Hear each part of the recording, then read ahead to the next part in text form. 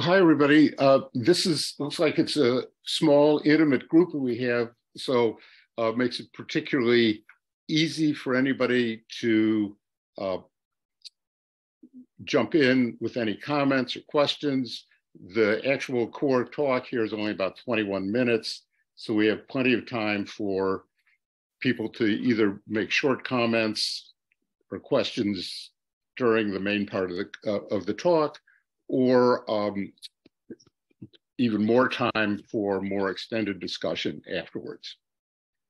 So uh, the talk is about um, erroneous statistical reasoning in the APS publication, Physical Review Physics Education Research, uh, and also about related issues uh, with the APS on, on similar research the type of statistical reasoning I'm going to focus on is causal inference, but there will be some discussion of other types of statistical errors. Uh, so what is causal inference?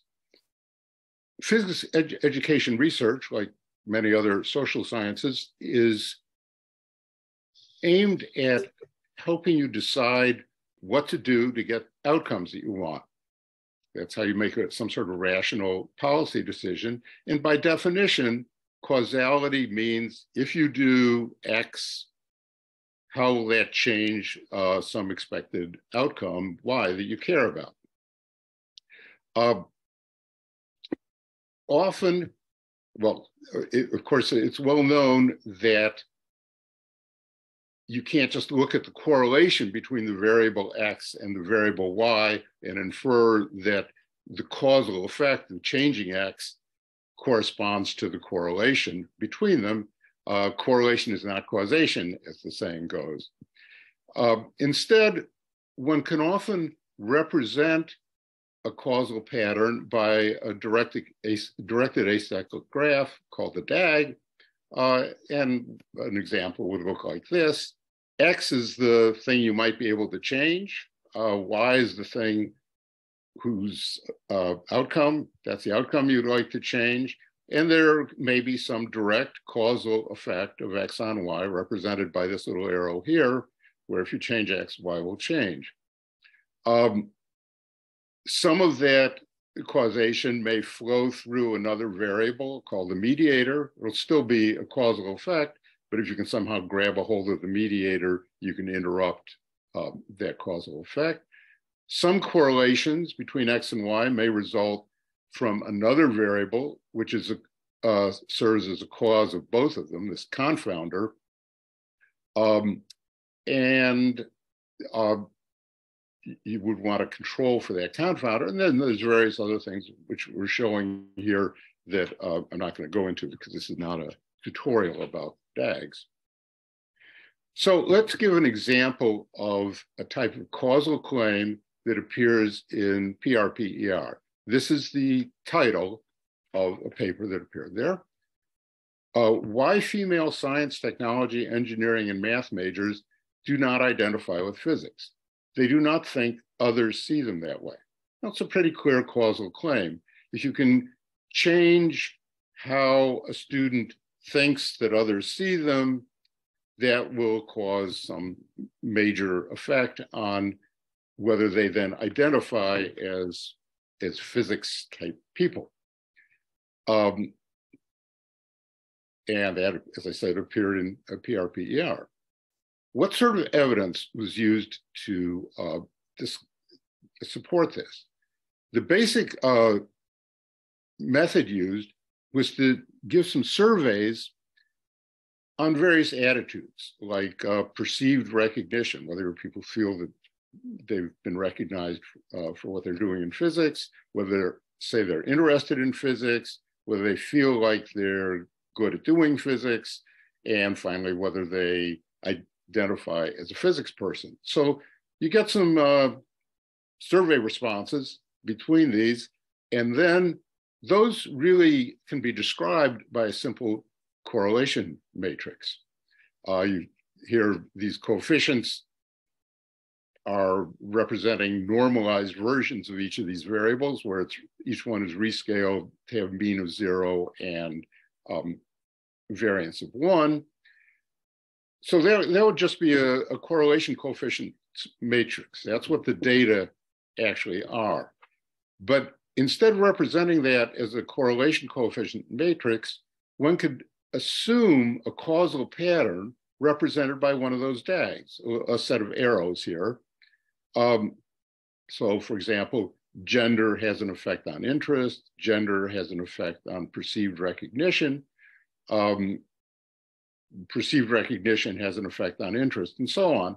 And then one can re-express the correlation coefficient matrix in terms of these causal coefficients. Basically, uh, if you had an arrow connecting each pair of variables, you could represent any uh, correlation coefficient matrix. In this case, only one arrow is missing. There's nothing connecting gender directly to uh, physics person, the identity variable, um, not the identity matrix. Um, and the reason that's left out is that when these were expressed in this way, it turned out that coefficient was so small that it wasn't statistically significant given the sample size. So um, they follow a rule of dropping uh, statistically insignificant uh, coefficients. And the uh, effect, which is described in their title and abstract, is the effect represented by this arrow, gender on perceived recognition, that somehow in the social context of teaching assistants, uh, family, friends, and so on, females are going to perceive less recognition than males. So the, the entire uh, point of the paper concerns this arrow. It doesn't go into depth about what accounts for this arrow, but it's entirely about the existence of this coefficient, which is moderately large. Here, gender would account for 0.27 squared, uh, about 7% of the variance in perceived recognition, which would be enough uh, to pay some attention to. Now, the impression is left, if you read papers of this sort, that the data give you uh, what sort of causal pattern you're going to use. And in fact, they did in one case. They the data said drop the direct arrow from gender to identity once you've chosen this type of DAG. However, it's important to realize that the data do not tell you what the underlying DAG is. For example, this DAG, which is identical in all respects except the arrow from interest to recognition has been reversed, is Markov equivalent to the DAG that they use. What does Markov equivalent mean? It means it does exactly as good a job of fitting the data with exactly the same number of adjustable parameters. And it's not too hard to see why that would be true here. Um, we're only temporarily interested in the three variables, gender, recognition, and interest. We have three arrows between them. There are three uh, correlation coefficients, and you can fit um, three variables, uh, three equations with three unknowns. Um, and we still have three equations and three unknowns, regardless of which way this, um, this arrow points. So what happens to the coefficient that we're interested in if we happen to choose this arrow from interest to recognition instead of from recognition to interest? By the way, I think it's perfectly reasonable, although all of these attempts to squeeze uh, relations developed over time between variables that develop over time into some little single time causal DAG, all of that's at best a cartoon. If you're going to make a cartoon, having interest affect recognition makes at least as much sense as having recognition affect interest. Usually you get interested in something, you do something, and people recognize it rather than people start recognize you for doing something before you're even interested in it. So this alternate DAG is at least as uh, plausible as the one that they used. And let's see what happens to the coefficient that we're interested in here when we use this alternate DAG. The alternate DAG allows another way for gender to flow to recognition. It can go through interest rather than just in their DAG directly to recognition. And if you do this uh, alternate DAG, this coefficient drops from 0.27 to 0.05 with standard two sigma error bars of about 0.10. So this is uh, not close to being statistically significant, in addition to being, you know, actually very small, even if you had a, a large sample with small error bars. So the data themselves here show no major effect of the type that uh, forms the title, abstract, the point of the paper. In fact, it doesn't even show an effect that passes their own conventional significance test. I mean, there, might be an effect there, but the data don't, don't tell you that because you can fit them just as well with something that doesn't have that uh, effect at all. So if you drop that insignificant coefficient in the revised DAG, you get a new equivalence class of DAGs where you can flip some other arrows as well. In all of them, all of the gender effect is 100% mediated by interest, not by any of the other uh, attitudinal variables. And this uh, other equivalence class, incidentally, also includes DAGs in which recognition has no causal effect on anything. So it, it would be doubly, it doubly zeroes out uh, the process that they were talking about. That is, there's no longer an arrow from gender to recognition other than the one mediated by interest. And there's no recognition, for, no arrow from recognition to anything else. So the data do not support the interpretation. They don't flatly contradict the interpretation, they just don't tell you anything about that topic. Everything is put in by choosing what DAG to use. And so now we have the question, how do they choose between this DAG and that DAG, this one and that one? There's got to be some rule that they say. So you read the paper and in the entire paper, I forget a dozen pages or whatever, there's only one phrase that gives you a clue as to how that choice was made. We only use the suggestions that were theoretically plausible. That kind of begs the question what's theoretical plausibility? Why is that one plausible, but that one not plausible?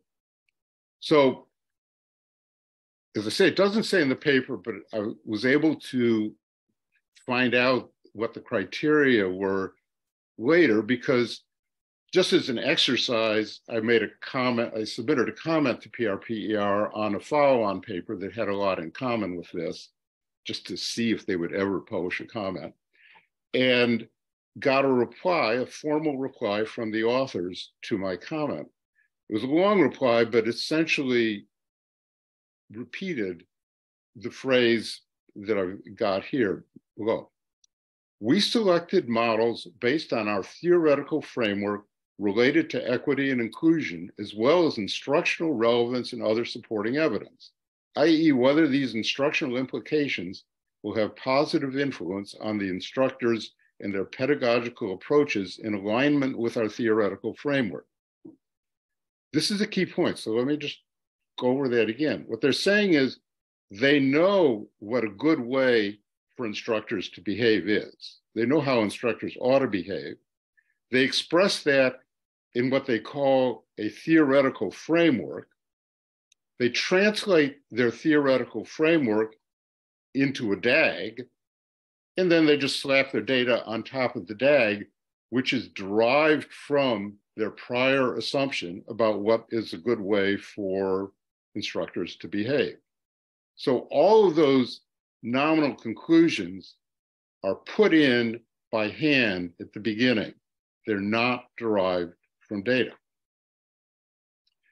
Um, by the way, when I say maybe we could change the arrow from between interest and perceived recognition. Yeah, if you look at some of the later papers, sure enough, when they want to tell a different story, there's the arrow from interest to recognition goes the way that I suggested it could go in, in the alternative DAG.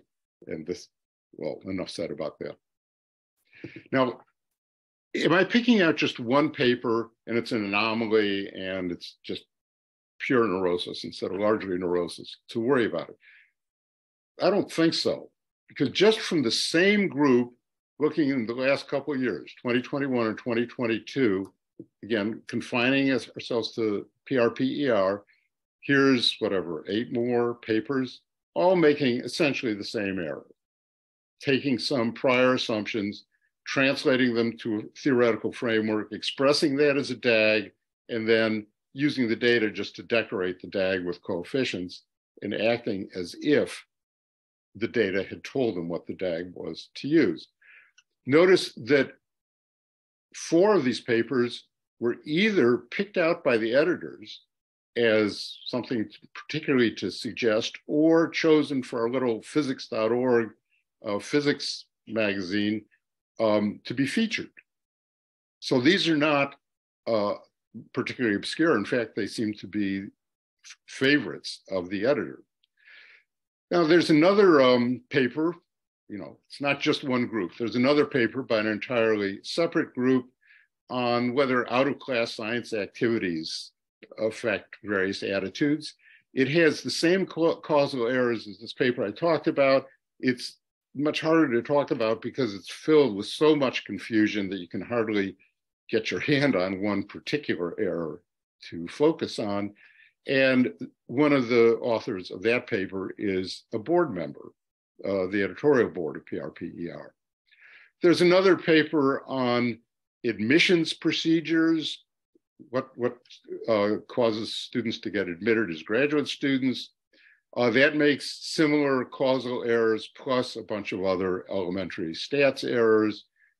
Uh, these ones that are in red here, by the way, are ones where I've written up formal critiques of them, not just notice the paper, but have something you can read, um, all published or allegedly in press. Um, another paper dealt with teaching methods and predicting grades. Uh, it actually had some perfectly reasonable causal reasoning in it, but then jumped over to causal conclusions about variables that didn't even appear in the analysis. That was another editor's suggestion, as was this paper. There's another paper uh, that tried to present how to uh, use causal methods on DAGs, and um, it has no special action content. It's just a methods paper, uh, but the methods weren't right.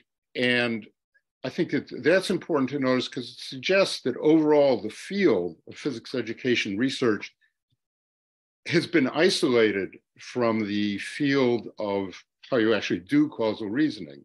Uh, they need to get together and PR, PER needs to pick up the sort of standard modern methods. Uh, then finally, I want to talk about a paper on whether GREs are predictive. It has some causal errors, but it also has a lot of different statistics errors, maybe the most error prone of all these papers. And it is both featured in physics and an editor's suggestion. Um, also, just to, again, to try and convince you that this is not some sort of isolated thing with one little corner of the field, uh, the group that published these papers is being honored in March for broadening access to by APS for broadening access to physics through meaningful research-based action. And this is the type of research on which it is based. So now what about that GRE paper? It has a, a clear conclusion that only undergraduate GPA is a significant predictor of overall GPA completion. In fact, it says at least a dozen times in the paper that neither the quantitative GRE nor the physics GRE are significant predictors of overall uh, PhD completion. If you start actually reading the paper, there's tons of errors, but I want to focus on two that should have been obvious to any reader, even if they were not statistically significant, uh, statistically sophisticated. One is that the way in which missing data was imputed was obviously biased in a way that would underestimate all predictive coefficients.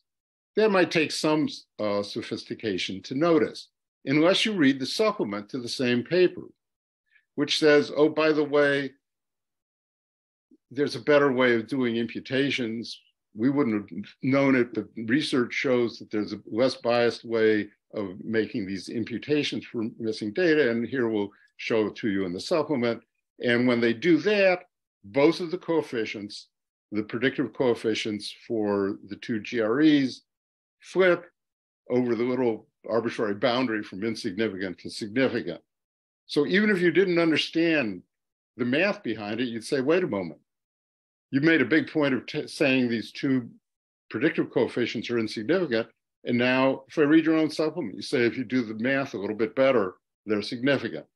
Every reader should have noticed that, but it appears in PRPER. It's chosen as an editor's choice. It's chosen to be featured in physics. Then, as I say, there's a bunch of other errors.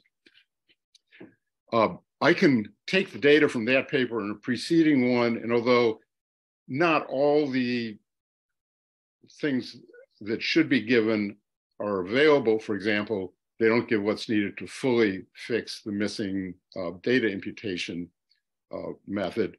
You can show that if you look in the cohort of students that were described, ones that applied back in the day when GREs were required, and you hold uh, undergraduate GPA constant, if you, as you go from toward the low end of the GRE scores toward the high end of the GRE scores, it makes a difference of about a factor of three in the odds of getting a, a completed PhD. So, you know, it's a pretty big effect. It's way easily statistically significant.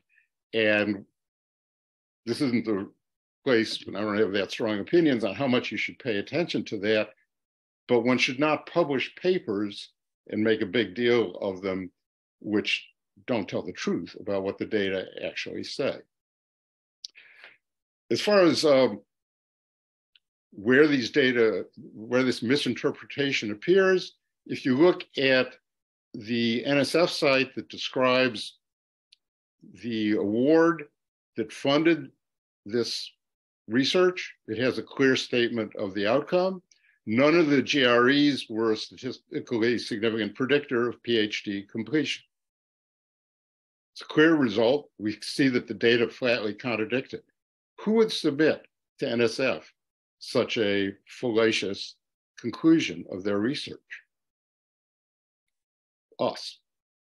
The grantee is listed as the American Physical Society.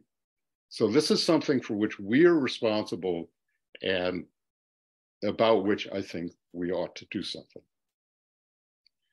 So here's the question. Is the APS as a whole, and in particular the journal, PRPER, uh, going to reform.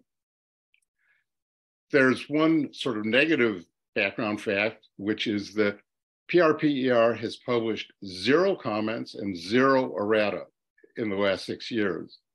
If you think it's because um, PRPER is so error-free compared to PRL and PRB, well, you're, you're free to think that. It's a free country, but I don't, I don't think that's a plausible interpretation.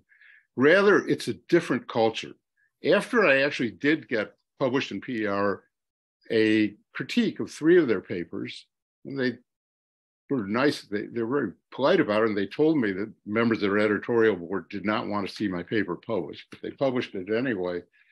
When I saw three more papers that were actually worse than the three originally criticized and said, hmm, I better submit another one, I got a very nice, actually a series of very nice notes from the PRP editors describing how they had a, a positive culture in uh, PER. They don't want to get a negative culture like the rest of physics. And so we do not want to set a precedent or encourage submission of articles that only critique the methods used by others. That's a really different culture than physics, the rest of physics, where traditionally, if something's wrong, you submit a comment or a counter article or whatever, and it gets published. Um, that's how we avoid just accumulating uh, a mass of wrong things that, that then people will say studies show that if the studies are wrong in physics, we ordinarily try to find that out,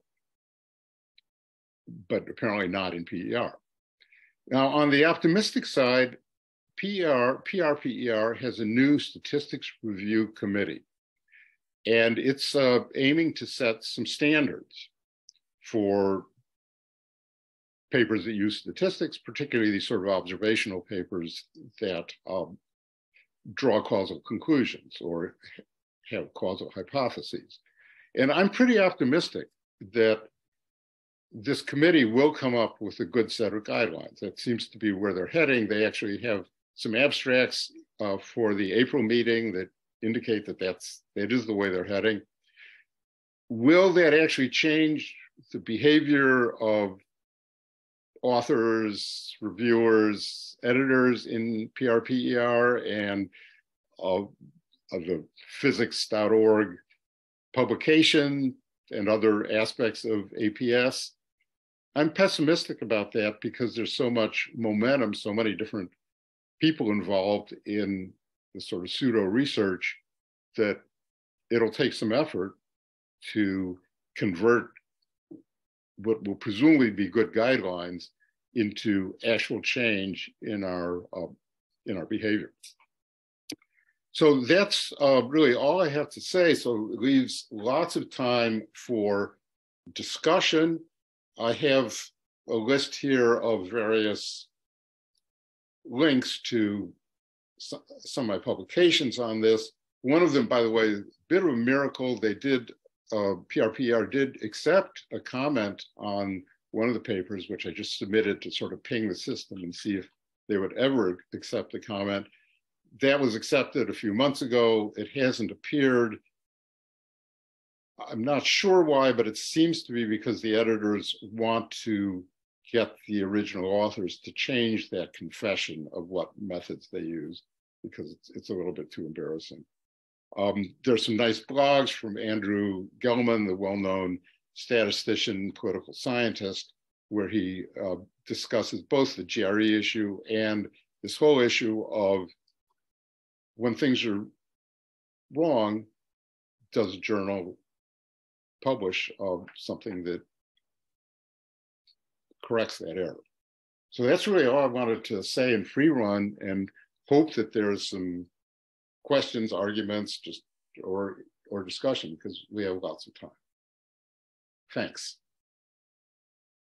So anybody can, you can all unmute yourself and, or put things in chat, whatever you'd like. Uh, I'll take that off and uh, see if anybody wants to participate.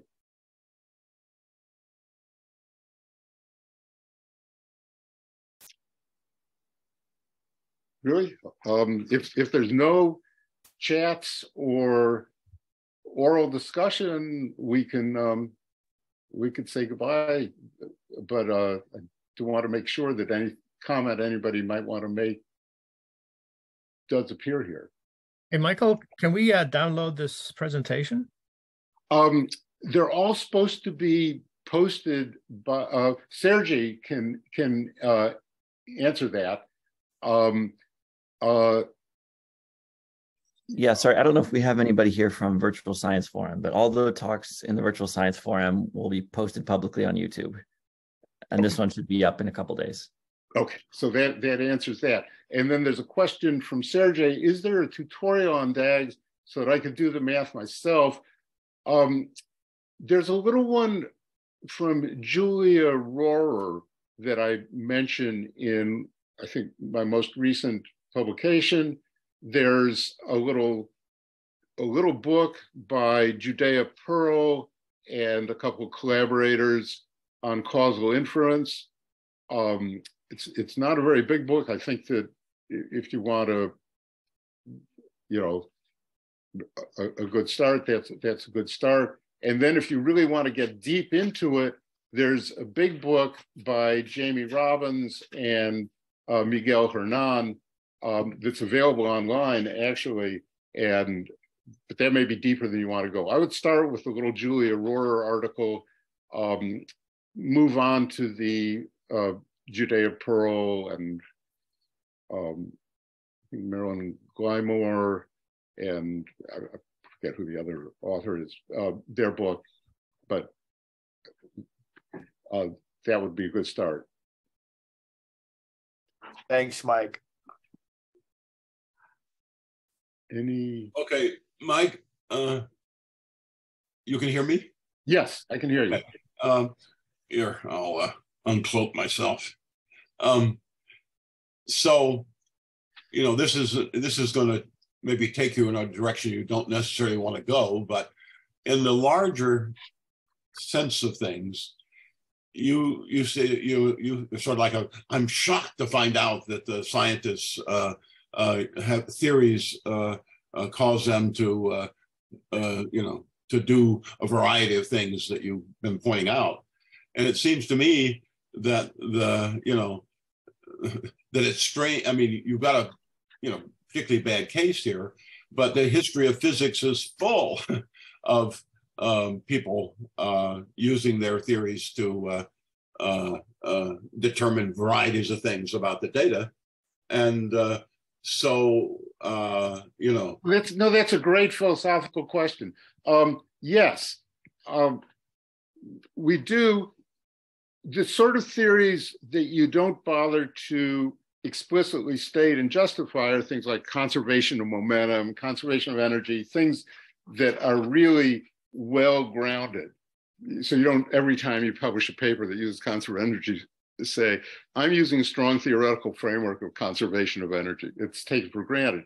But if you are trying to say, I think the Hubbard model will be an adequate representation of the physics here, and I'm going to work within the context of the Hubbard model, you say it instead of just saying, I'm using the only theoretically plausible um, uh, model. And that goes for many others. Or often you'll explicitly state, I'm comparing uh, a nonlinearity due to Joule heating with a nonlinearity um, due to direct hot electron effects or something like that.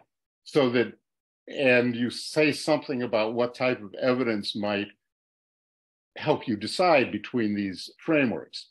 So my point isn't, gee, nobody should have a framework. It's just if you're going to assume a framework and it's less well established than conservation of energy, you ought to state what it is and give readers some hint, at least, as to what the alternatives are and what sort of things you might use to choose between that framework and others instead of just pretending like, yeah, this is the only way it could be done. And then in your next paper, you draw the arrows the opposite way. And then for that paper, you pretend like that's the only way it can be done without mentioning the relations. Um, if I understand you know, from the grapevine, what sort of guidelines are being talked about, they're very much along the lines of what I just said, that if you're going to put in a framework, say what it is and a bit about how it might be tested. Um, that would be great progress if if that happened. Yeah, I mean, did that the, answer your question? Yeah. Okay. Yeah, it was a great question, Bill. Well, the uh, it, you know, the fact that uh, people use uh, their beliefs and theories at every stage of the scientific uh, process. Uh, I have a big book chapter on on this, uh, and and it turns out that it's just standard operating procedure in in cross disciplines and uh, and in the you know in physics one of the most rigorous of disciplines So uh, you can see it, uh, you know, in well, you're you're being hit a little bit by one place that happens, which is that when you uh, begin to review the literature in the beginning of your paper, right? Well, it turns out if you got a group of people who are in theory A and a group in, in theory B, uh, that um, the theory A people tend to find methodological problems with theory B papers, so they don't bother to put them in the review, they claim, right? And vice versa.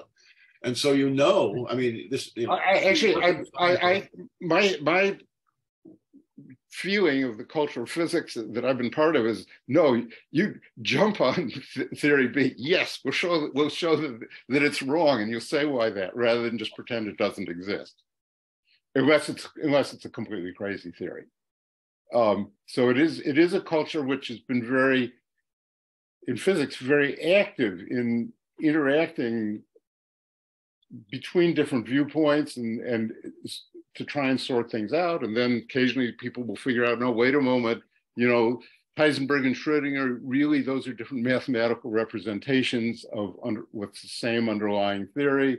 So all these discussions which things are in conflict which things are different semantic forms which things are different approximations applicable in different regimes those are all normal disputes in and they just don't seem to be appearing in this area. When one picks a framework pretends that it's the only one and then goes on from there. At least that's that's how it looks in many of these papers. By the way on, on the philosophical question i'm not claiming that anything is theory true can be ever be truly theory free it's known that if somebody's eyes weren't connected up weren't working for their first seven years, and then you connect it up, the little firmware in your brain that actually makes images out of all the, you know, objects out of all these optical sensations isn't there, and you won't actually see things. So everything is theory laden at some level, but well, I, I, think the physicists really, in my mind, have done a, the uh, CERN uh, the accelerator and the way things are done there is extraordinarily sensitive to the to the top-down uh, theory-based things.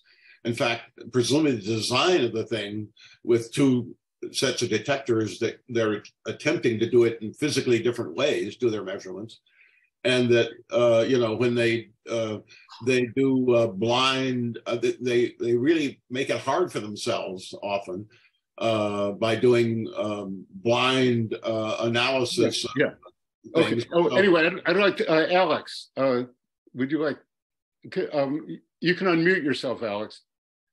I, I was just going to comment that I think one of the problems here is how PER findings and discussion function for a lot of physicists. I'm I'm a guy who, you know, maybe maybe my own demeanor sometimes hurts in this. You know, I'll critique a talk or a paper, and people will come back to me with well i think all they're saying is you know if i critique the methodology i say does that really find does that really follow? There's so many counter examples or there's this problem in the methods. And they'll say well i think all they're really saying is that when you teach you should keep this in mind. All they're really saying is that when you teach you should be open to and on some level i think that's that's entirely true and that's entirely reasonable. And anyone who's spent more than five minutes teaching knows that you do have to you know, keep in mind a lot of perspectives and be open to a lot of things because you're dealing with lots of people and people are squishy and don't fit into neat boxes. But then you could ask, well, we don't need a scientific enterprise and you know armies of postdocs and uh, grad students and research grants to tell us you know you, you just got to keep things in mind when you're teaching we already know that we need a scientific enterprise to ask whether beyond this general sense there's something that the data can tell us. And but because it functions on two levels there i'm kind of pessimistic about nice well-meaning people in the physics community coming out too strongly against certain types of errors because in the end they can always fall back on look all that paper is really saying is and so not so much a question it's just an expression of pessimism here well, just along the lines you were saying, by the way, embarrassed. I have a broken tooth here, but anyway, uh, let's pretend that's not there. Um, uh, one of the papers, one where one of the authors was by a um, member of the editorial board, was on the effect of out of class science activities on subsequent attitudes, um, things like science fair participation. And the methodology was completely messed up. Um, and they said that the goal was to figure out how big an effect those had on some outcome. I forget which the outcome was, which actually, given the DAG they drew, was just the unconditioned correlation coefficient. But they never said that's what it was. And in fact, they never gave it. They seem to have forgotten that that's what they said the purpose of their paper was. Um, and then the conclusion was that science fair type activities should be both fun and challenging. You know, I think this is along the lines they're saying. I'm not going to argue with that conclusion. Yes, science fair activities should be fun and challenging. Agreed. But you don't need a half million dollars and um, sort of a nonsense, you know, DAG to show that. Uh, just remind everybody, try and keep it fun and challenging. Uh, maybe I can ask a kind of straightforward question. So suppose I really was interested in the question of like whether recognition affects interest or something like that. Um, it seems to you that I can, I think what I understood you saying is that if I set up my directed graph in the right way, I can get the conclusion I want. So what's the most, what's the most honest way to try to address RCT, randomized control trial. Um, those are not always possible. Um, and they're, you know, they're not as cheap as just sorting through some surveys, but they actually tell you something. You know, the, the gold standard may be a little bit of an exaggeration because things done in real practice are typically different a little from how they're done in a randomized controlled trial, but randomized controlled trials can demonstrate causality. If you, so that's that's the answer. Uh, well, if I if if I don't have the ability to run a randomized controlled trial, can I it, do something like take survey data and then say, here's one version of the directed graph and here's another version that you might find plausible, and here's a third version that you might find plausible, and under this scenario you get this, and this you get that. And yes, like, exactly. Does that, does that strike it, you as sufficiently honest, or? Uh, yes, it does strike me as sufficiently honest, and if I understand the rumors right, that is where the um, new guidelines committee is heading towards something very close to what you just said. Um, and again, th- that's honest enough. We, we we're not looking for perfection here. It's it's impossible. But um, the question is whether that those guidelines will actually be followed. Yeah. So, um, changing. Uh, hi. Um, that was a really nice talk, by the way. Uh, th thanks for thanks for putting that together. I was curious. So, you know, you're pointing out these these methodological flaws, and you know, you're you're getting resistance from um, the journal and so on. And I wonder if one way potentially around that, I mean, this is just, this is not a well-formed thought, so I'm just kind of thinking out loud. But as you correctly pointed out at the beginning, there are fields, or you know, especially particular people in particular fields like cognitive science and so on, that do causal inference well. And I wonder if kind of getting them on board to kind of co-write uh, articles critiquing things and stuff like that might be a way to get more acknowledgement of this because at the moment, especially being kind of peripheral involved in physics education things, there is very there is unfortunately a bit of a kind of us and them kind of mentality among people in that field that you know if you're uh, yeah anyway. And maybe a way kind of around that is to somehow and don't ask me how um, recruit in people who um, are kind of acknowledged throughout, you know, social science and so on as being good at causal inference. Yes. That might be a way to get people to pay more attention. Yes. Well, uh, you know, I've been able to cheat because the best person in that area is my best friend. Um, and so I know a bunch of the other people there. and I would love to get some of them involved, perhaps at least one on an editorial board of PRPER. It's a social science journal. It's not a physics journal. It's a social science journal, though it helps to have physicists so that they don't say how to teach something that goes, you know, completely the wrong direction. Um, but we absolutely, absolutely should have a couple good causal inference people on there. Um, and uh, I, if if there was any move from the journal to uh, to uh, uh, do that, I could beg my friends to find a student or you know somebody who who would be willing to do that, and you know I'd be optimistic. It would make a huge difference because you know I haven't even made it through Judea Pearl's little beginning textbook, complete amateur. Um, and there should be some pros actually involved in this. Uh, here's a question from Joel Fish. How many of these methodology problems could largely be resolved by requiring authors to clearly state their causal model, state if the model has been validated or if it is an assumption, address whether or not alternate models have been tested, and address the extent to which measurement error impacts effect sizes found. That goes, again, a very long way toward addressing everything. Um, I would add one other thing, which is uh, Miguel Hernan emphasizes in one of his papers. Even if you can't do an RCT, describing a theoretical, uh, you know, what RCT in principle would answer the question, the causal question you're raising, does a huge amount to help clarify this. That if you can say, well, if we could do such and such in class, this causal picture would predict this outcome and this other causal prediction would uh, predict that outcome you can you go a long way toward clarifying what intervention you're actually talking about what outcomes you're actually talking about so yeah this agrees with what joel says but it adds a, a sort of a nice way of implementing it. Mike, um, thanks for the talk.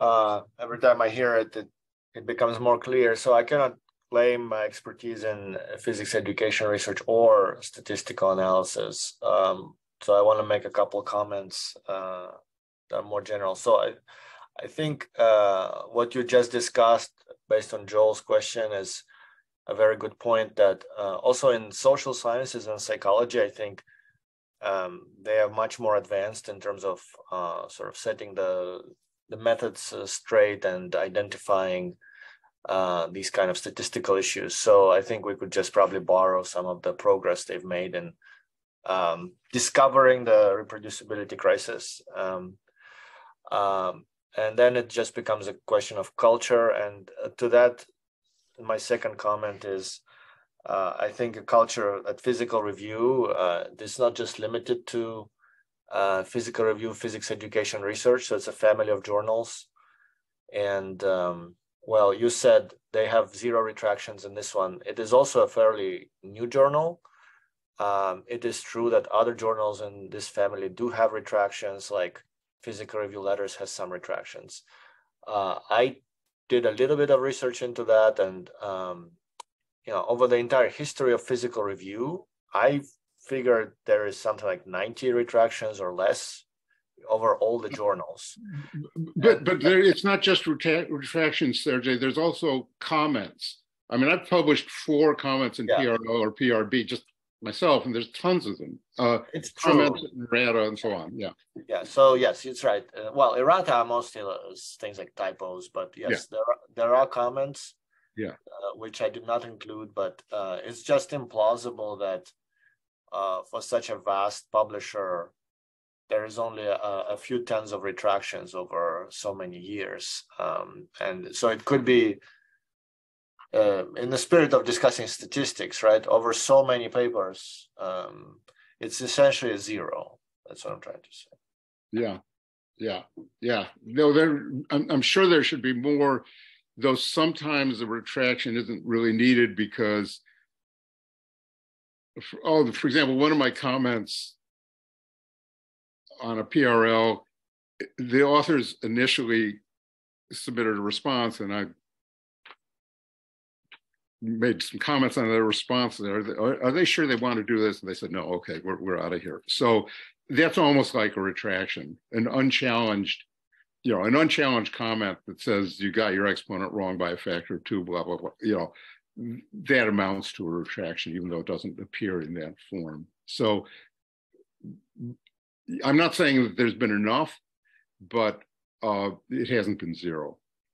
Well, I guess as a scientist, you can be vindicated in in this kind of situation. But the other comments you made about um, grant funding and uh, you know still having that PRL on your CV, etc.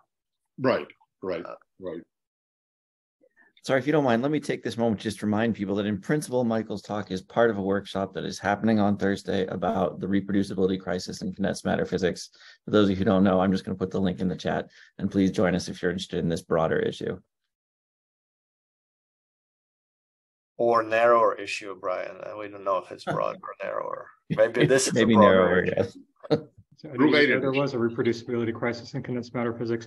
Is there any field that doesn't have a reproducibility crisis? Well, the question, I mean, the, the, the workshop is basically going to address the question of whether there is a crisis in condensed matter, to what extent it is a crisis, similar to the social sciences or whatever. That's what we're going to talk over. Cool, thank you. Yeah, so our little field of physics was hit by, uh, well, was hit, we hit it with three retractions from Nature and Science in the last year or so.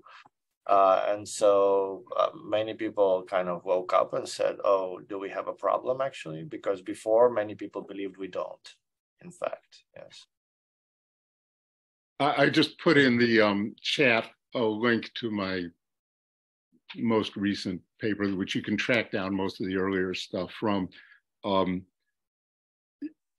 because PRPER had decided they were going to stay positive, this ended up in a econ journal where they enjoy publishing critiques of other people's work. But it, anyway, if anybody wants to track down those details.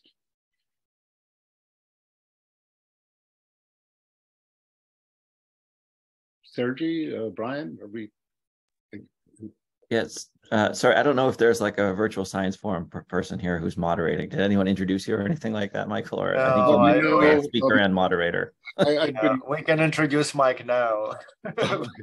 well, anyway, I think this means you get to decide when this ends. I think this is it because nobody else has anything to say. And thanks everybody for coming. And uh, okay. thank you. Thank much. you, everyone. See, hope to see a lot Thank of you Thursday.